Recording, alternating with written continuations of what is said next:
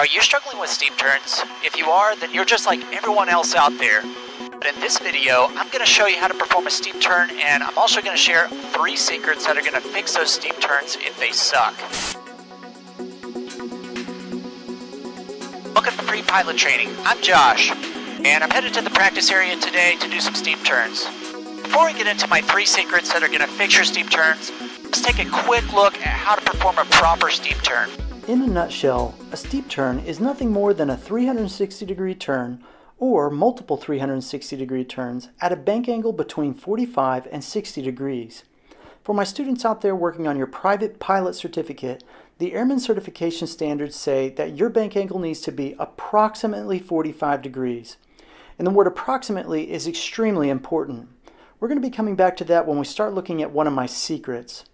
Now, speaking of the Airman Certification Standards, this is how you're going to be graded on your check ride. The examiner is going to expect you to have a basic understanding of this stuff right here. They're also going to expect you to make good risk management decisions, and you also need to be able to perform the maneuver at a certain level.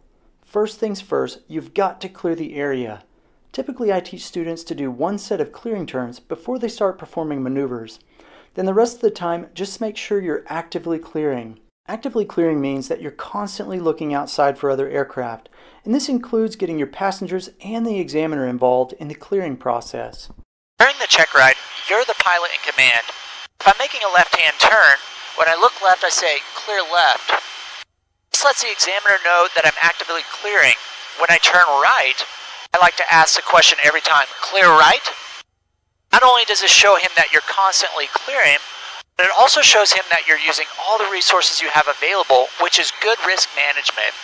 Okay, after we've cleared the area, we need to establish the proper airspeed.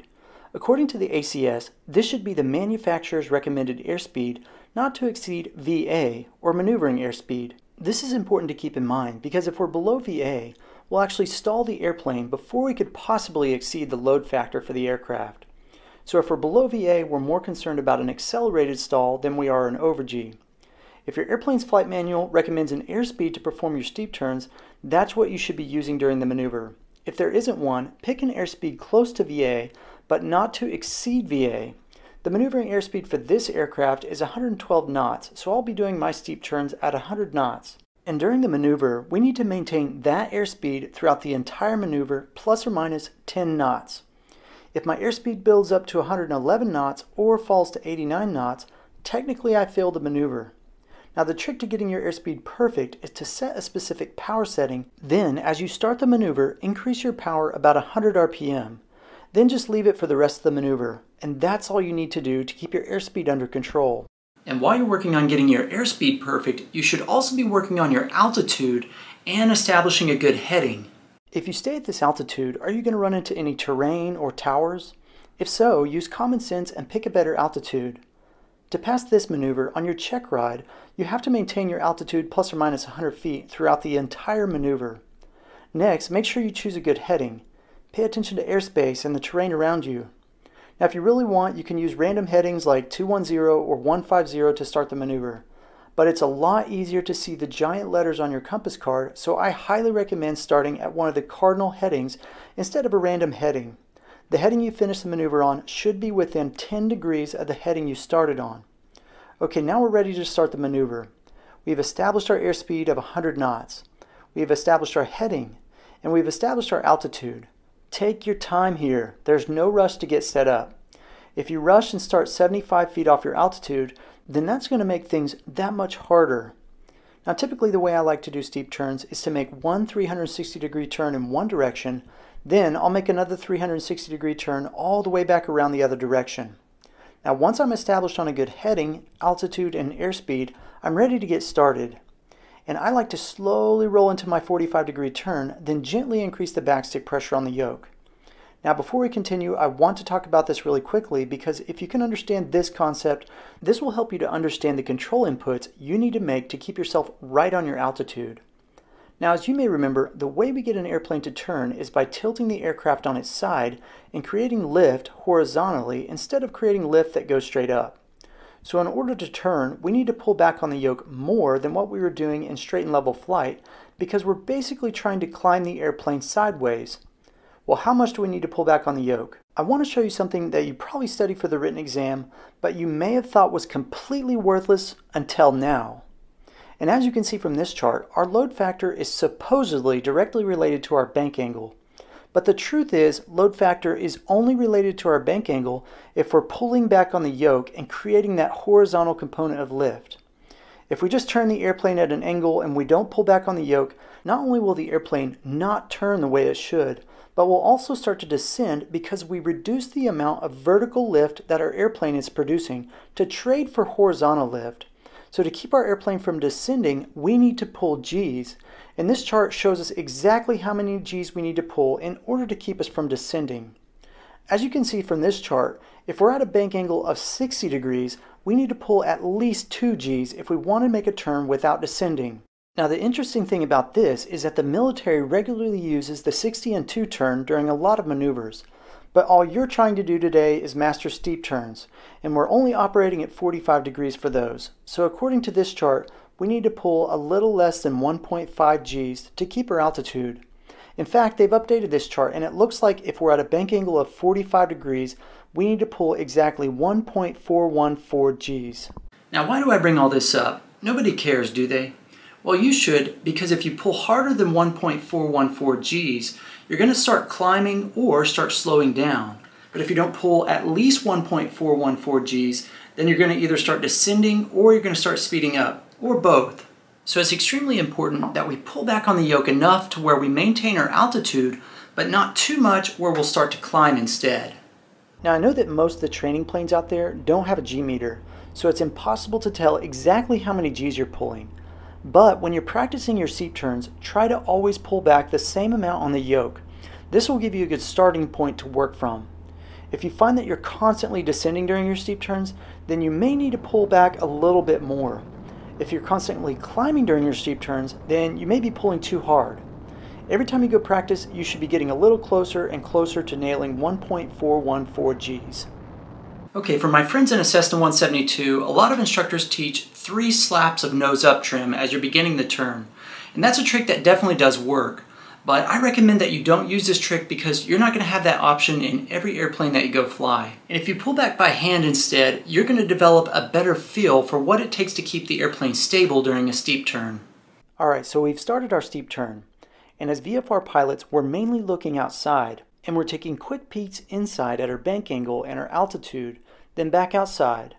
Then we're taking quick peeks at our airspeed, then back outside. Then we're taking quick peeks at our ball to make sure we're coordinated, then going right back outside. We're dragging that spinner across the horizon. The three main things you should be focusing on are putting that spinner where it needs to go, making sure your bank angle is about 45 degrees, and taking quick glances at your altitude. Your airspeed should be okay as long as you set the proper power setting. But in a minute, I'm going to share one of my secrets that'll keep you from looking at the airspeed indicator quite as much. As you start getting close to your original heading, start bringing that into your cross check. You need to roll out wings level about half of your bank angle. And don't sit there and think about that math too long. For private pilot steep turns, that just means we need to start rolling out about 20 degrees before our heading. As you begin to roll out, gently release that backstick pressure at the same rate that you're bringing your wings back to level. If you did use nose up trim, you're going to need to fight against your trim and push down as you level out to keep you from climbing. As you reach wings level, we should be right on our heading, and this is where we should be reversing our turn and going in the opposite direction. Once again, slowly roll into the turn, gently working towards 1.414 Gs. You already have that 100 extra RPM in. And the reason we put that in was to counteract the increased angle of attack that we caused by pulling more g-forces. And once you've established that 45 degree bank angle, we're back to looking outside. And the horizon's going to be in a little bit different spot this time if you're not sitting directly in the middle of the aircraft. We're still dragging our spinner across the horizon and taking quick glances inside at our altitude, at our bank angle and our airspeed, and the ball. Don't forget the ball. Now it's important that you keep the ball centered during this entire maneuver because that means we're staying coordinated. And how much rudder we need depends on which direction you're turning. Because of the left turning tendencies, in most training aircraft, you'll find that during a left turn, the weight of your foot is almost enough to keep that ball centered. During a right turn, you need a good inch or two of rudder pressure. Just make gentle corrections as you're making the turn. This will make it a lot easier. But once again, our eyes should be mostly outside as we're making the turn. With quick glances inside, focusing on altitude, bank angle, and ball, and occasionally airspeed. Then as we're getting close to our original heading, we should start the rollout 20 degrees in front of our heading, while gently decreasing our backstick pressure. And as we roll out, we should be right on our heading, right on our altitude, and right on our airspeed. Now that you know the basics of the maneuver, it's time to share my three secrets for perfect steep turns. And the reason I call these secrets is because I wasn't taught any of these during my private pilot training. Okay, so for my first secret for perfect steep turns is to neutralize the ailerons as you begin the maneuver. The Air Force calls this flying the T. Before I explain what that means, I want to ask you a question. What happens if I'm coasting down a hill in my car and I let off the gas halfway down the hill? Will I stop right here or will I continue to coast down the hill? I know that's a stupid question. Of course, you're going to continue to coast down the hill. But what do you think happens when you roll into a turn with your training aircraft and you hit 45 degrees angle of bank and you just bring that yoke back to the middle position? You haven't stopped your airplane from continuing to roll in that direction. And the airplane is going to continue to roll in that direction unless you do something to stop it. This is why you need to neutralize the ailerons as you hit 45 degrees angle of bank. And to do that, you'll just need to very briefly put in a tiny bit of opposite aileron to keep the airplane from continuing to roll in that direction. Now, the reason why the Air Force calls this flying the T is because if you were to look at the top of a control stick as opposed to a yoke, what you'd see is one movement to start the turn, a movement in the opposite direction to neutralize the ailerons, then the movement back to increase the g-forces to keep the aircraft from descending. It's a very intentional maneuver to keep you from continuing to roll, which would cause you to descend immediately after you've started the maneuver. And if you're struggling with steep turns and you've noticed that you're losing altitude immediately after starting the maneuver, it's very likely that this is your problem. And that brings up secret number two, sideways controls. Now that your lift vector is turned to the side, how do you think you want to control the altitude of your aircraft? And I guarantee you a lot of people are trying to control their altitude with the elevator still, and that's not actually what you want to do. Now, as I mentioned a minute ago, we do need to pull back on the yoke to keep ourselves from descending, but the way we should be controlling our altitude once we're in the turn is with ailerons, not elevator. Take a look back at the Airman Certification Standards. Notice that our bank angle needs to be approximately 45 degrees. It doesn't say exactly 45 degrees, and the reason for this is because you need to control your altitude with your bank angle, not your elevator. Your lift vector is turned to the side. If you're pulling more G's, you might climb a tiny bit more, but you're essentially tightening your turn radius by doing that. And you're increasing your angle of attack to do that as well, which will slow you down. And you definitely don't want to do that. We need to maintain our airspeed plus or minus 10 knots, and pulling more G's is going to bleed off our airspeed.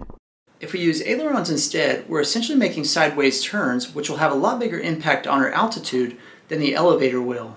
Now, I believe that it is possible to pass your private pilot check ride by controlling your altitude with elevator and not ailerons. I know that because I did it. But if you're a commercial student pilot who's watching this, who's all of a sudden struggling because you have to use approximately 50 degrees of bank for the check ride, this is why. You're trying to control your altitude with elevator instead of ailerons, and you need to quit that right now. Your lift vector is sideways, so you need to climb and descend with ailerons. Let me say this one other way so I know that you guys are getting this. When you're doing your steep turns, you're controlling your altitude with your bank angle, and it only takes 2 or 3 degrees to climb or descend for what you need during that turn.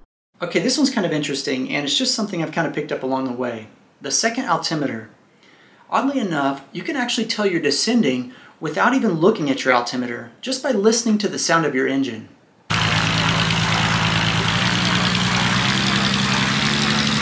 This sound is a hint and a half that you're losing altitude. Give yourself a little bit of opposite aileron, then glance down at the altimeter. I think you'll be surprised at how often you can fix your altitude with just the sound of the engine before you even see the change on your altimeter. And guess what? If you're hearing that sound, there's a good chance you're also increasing your airspeed as well. And once again, we don't want to do that. We're trying to maintain our airspeed. All right, now that you know how to perform the maneuver and my three secrets for perfect steep turns, let's see all these skills together in motion. All right, so about 2400 RPM is going to hold my uh, 100 knots. So clear left, I'm going to roll coordinated into this bank at 45 degrees, the bump of power, and then I'm going to neutralize those ailerons. Notice how intentional I was with that.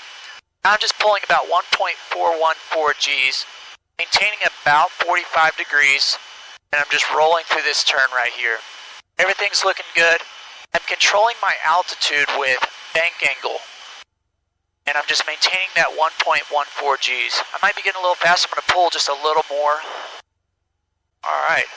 We're looking for 20 degrees to roll out, so somewhere right in there. Went just went through my wake turbulence there a little bit. Rolling out while gently increase or decreasing the backstick pressure, and then rolling back into that turn. All right. Neutralize the ailerons there. And now I'm just gently pulling back about 1.41 Gs. Getting a little slow, so I'm going to release some of that backstick pressure.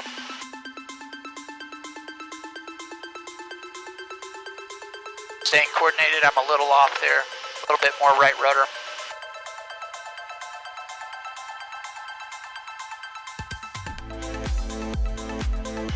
And there's 20 degrees to roll out.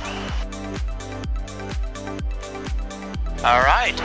We are maybe three knots slow, right on our altitude, and right on a westbound heading there. Hey, thanks for joining me today on Free Pilot Training. I hope this video helped you guys out. If it did, would you please smash the like button for me? And you might also see what other videos I have available. I'm sure they're going to help you out if this one did. I'll see you over there. See ya. No, no. Oh, shoot. Lost one of the propellers off this thing. Please don't tell anybody. Roach, you're not to believe this. I just spotted free pilot training. I'm going to keep on watching.